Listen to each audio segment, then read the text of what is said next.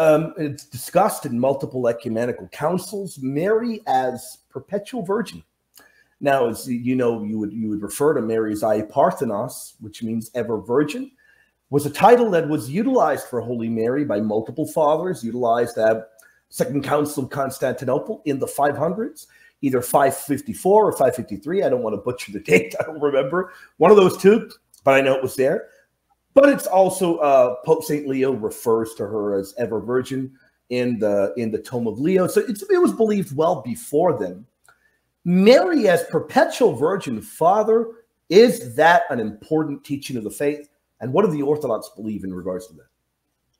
Yeah, no, we, we do accept it. It's in the 50 Ecumenical Councils, in the basically the decrees of 50 Ecumenical Councils, the title given to it. So basically dogmatic.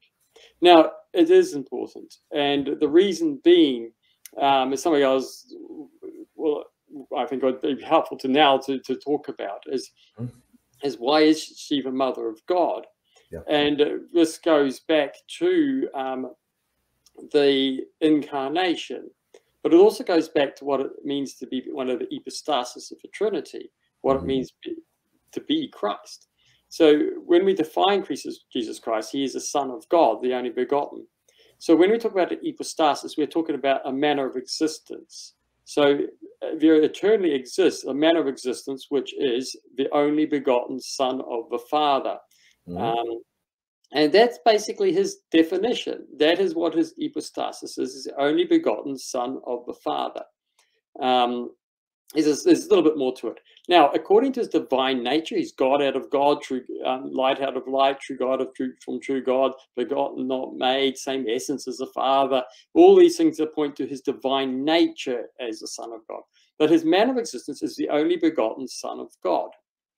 And when he becomes incarnate, his humanity has to have the same manner of existence. He has to be only begotten son of the Father. So he, he can't be have brothers and sisters or anything. He's got to be the only begotten son of the Father. So in the union, for him to um, to be union, he for the reality of the come together has to be only begotten son. And then Mother of God, of course, is um, the mother of Jesus Christ, the, the person, the hypostasis, who is God and man. And so she becomes, um, in a sense, the same, the, her relationship to the divine and the human has to be the same.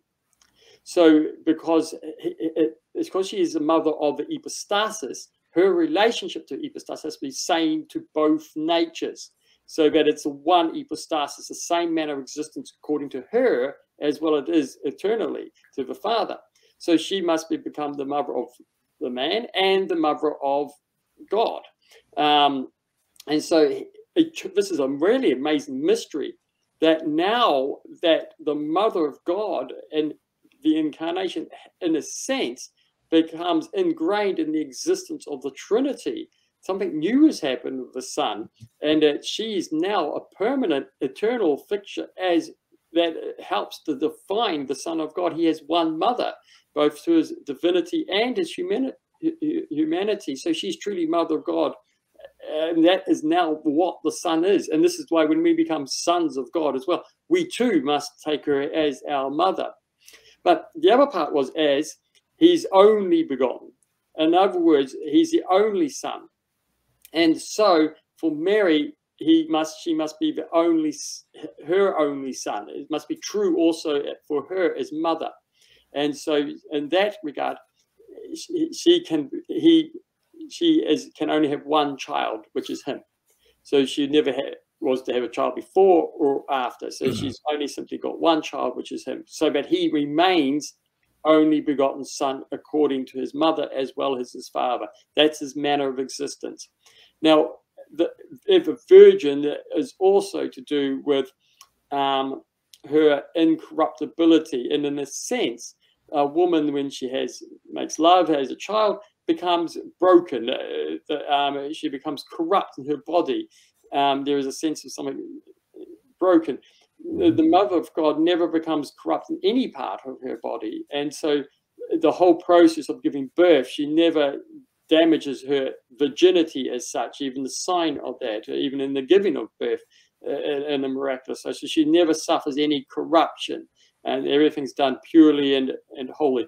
Um, there's also the sense of spiritual sense of once you understand the purity of the Mother of God, once you understand um, the purity of holiness, detachment from passions of the flesh, etc., that there's no way that the Mother of God at this level of purity would ever contemplate um, a sexual relation because that movement of passion be so contrary to her stillness, her calmness, her inner.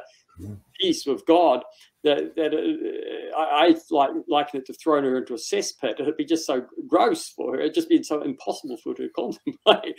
the, and, and, I think people who caught in the worldly way of life and the worldly fe feelings and stuff don't really understand how uh, incompatible um, that sort of passionate relationship would have been to her um, for her to be in the state of purity to, for the incarnation. So there's multiple levels, but theologically, because he's only, the son is only begotten, is the mother of God can only have one child, and that must be the son.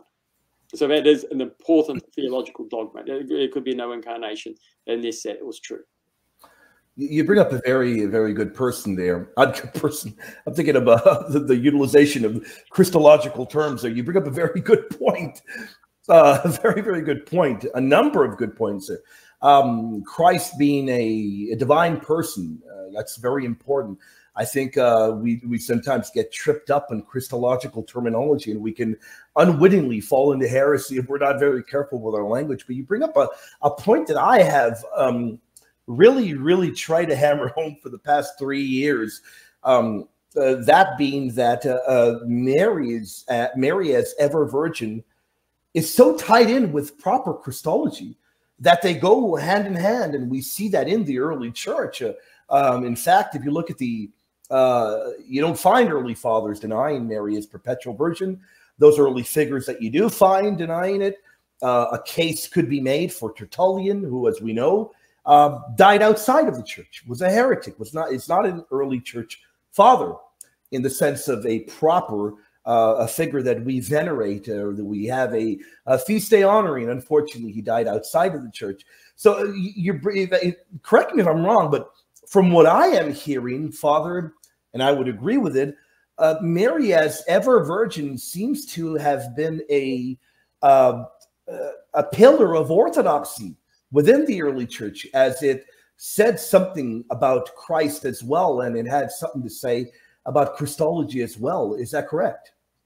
Yes, yes. Uh, it, it, it, just, as I said, it, Christ could not be incarnate. He could not be truly the only begotten Son in his humanity. So when we talk about his humanity being the one that hypostasis, what we mean is his humanity must be the only begotten Son of the Father.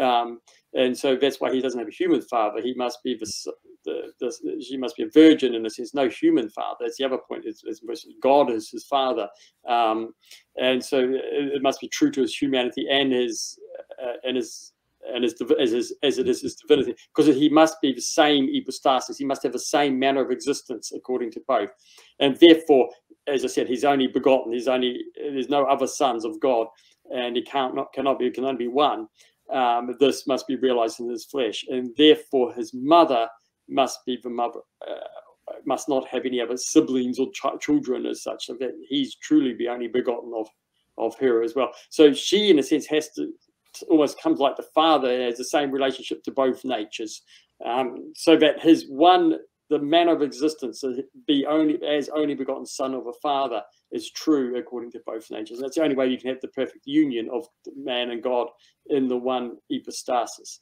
And it's about being only begotten son of God.